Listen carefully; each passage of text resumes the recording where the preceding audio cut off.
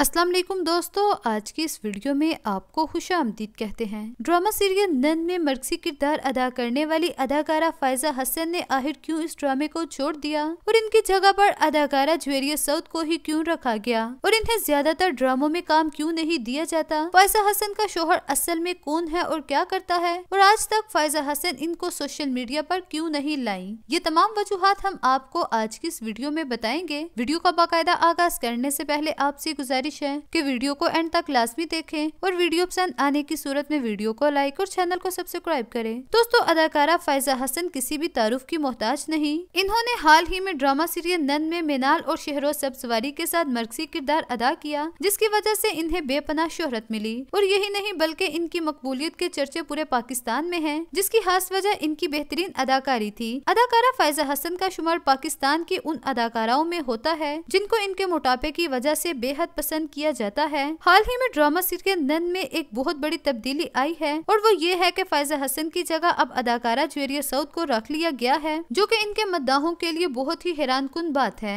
कि आखिर फायजा हसन को इस ड्रामे ऐसी क्यूँ निकाला गया? दोस्तों, हाल ही में ज्वेरिया सऊद ने एक इंटरव्यू में बताया है कि फायजा हसन को ड्रामा सीरियल नंद की टीम से कुछ मसाइल पेश आ रहे थे और इसी वजह से वो मजीद इस ड्रामे में काम नहीं कर सकती थी। और फायजा हसन के कहने पर ही ज्वेरिया सऊद को इस ड्रामे में कास्ट किया गया और इसी वजह से ड्रामा सीरियल नन की शूटिंग को फ़िलहाल रोका गया है। दोस्तों, लेकिन अगर बात की जाए फायजा हसन की पर्सनल लाइफ की तो ये उन्नीस सौ बयासी को कराची में पैदा हुई और इस वक्त इनकी उम्र अठतीस साल के लगभग है। इनका शुमार पाकिस्तान की पढ़ी लिखी अदाकाराओं में होता है और अगर इनकी तालीम की बात की जाए तो इन्होंने न सिर्फ़ इंग्लिश बल्कि उर्दू में भी मास्टर्स की डिग्री हासिल कर रखी है और अपने शौक की वजह से इन्होंने अपने वालदेन से लड़ झगड़ कर 2003 में शोबिस इंडस्ट्री में कदम रखा। मगर शोबिस में कामयाबी मिलने के बाद इन्हें वालदेन की जानब से भी सपोर्ट किया गया और अपने कैरियर के अरूज पर इन्होंने शादी कर ली। और बहुत सारे लोग इनके शोहर के बारे में जानना चाहते थे, जिसकी एक खास वजह ये है कि इनके शोहर का शोबिज इंडस्ट्री से कोई भी ताल्लुक नहीं और दूसरा ये कि वो पाकिस्तान के रहायशी भी नहीं। तो अगर बात की जाए इनके शोहर की तो इन्होंने 2007 में एक बिजनेसमैन मुबशर हमायूं के साथ शादी कर ली,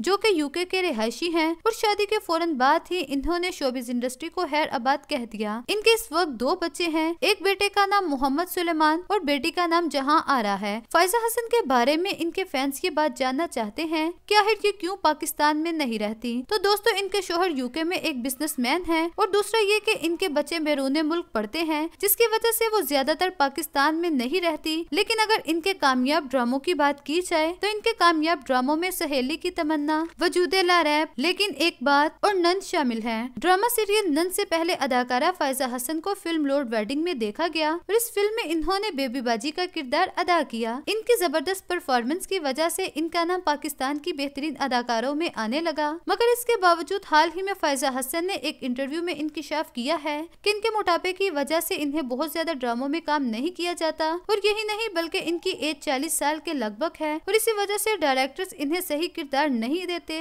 और इसी वजह से ये बहुत ज़्यादा मायूस होती है। मगर ड्रामा सीरियल नन में बेहतरीन अदाकारी करने के बाद यकीन लोगों और डायरेक्टर्स के दिमाग से ये बात निकल चुकी होगी कि उम्र और वज़न से अदाकारी का कोई ताल्लुक नहीं। हवातीन हसरत आपको अदाकारा फायजा हसन के बारे में जानकर कैसा लगा? कमेंट करके अपनी कीमती राय का इजहार करें। मिलते हैं किसी और अच्छी वीडियो के साथ। तब तक अल्लाह हाफिज।